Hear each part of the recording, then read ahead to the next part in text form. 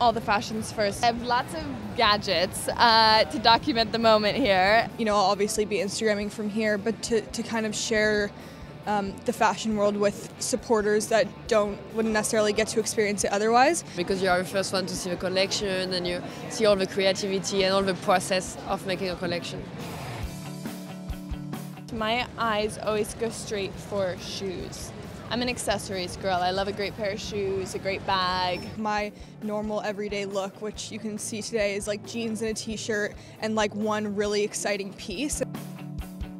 I love a mask, a good mask, uh, to sort of help moisturize when it gets really cold. Moisturizer, like a lot, lot of moisturizer. I swear by rose water spray. If you want to just like touch up your makeup, um, just spray that on and you look fresh and you look as if you're not wearing as much makeup as you are. I am a drugstore beauty girl for sure.